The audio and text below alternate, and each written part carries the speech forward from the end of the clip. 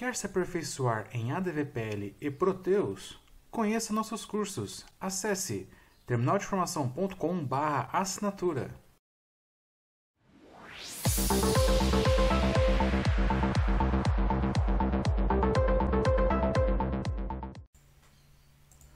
Salve, salve, jovens! Como vocês estão hoje?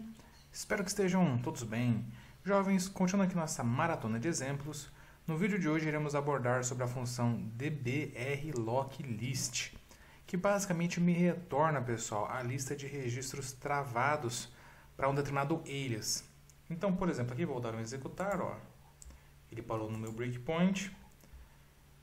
Para eu usar a rotina, basicamente eu pego aqui o alias, passo a referência e aciono a função aqui, ó, dbrlocklist. E ela vai me retornar um array com os registros, com os recnos que foram dado hacklock. Então o que acontece, pessoal? Aqui eu tenho, ó, minha SB1, eu dei um hacklock apenas para travar um registro aqui e depois eu dou um MS1 lock para destravar. E aqui o atravas, ó, ele me retornou, ó, tem um registro que está com REC lock e esse registro é o REC no número 14.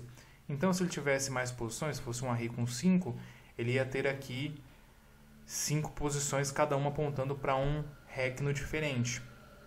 Então, isso aqui é interessante, às vezes nós precisamos validar se a tabela tem algum REC lock ou algo nesse sentido, nós podemos utilizar esse DBR lock list para retornar a lista de registros travados. Ok, jovens? Espero que tenham gostado do vídeo de hoje. Um grande abraço a todos e até a próxima.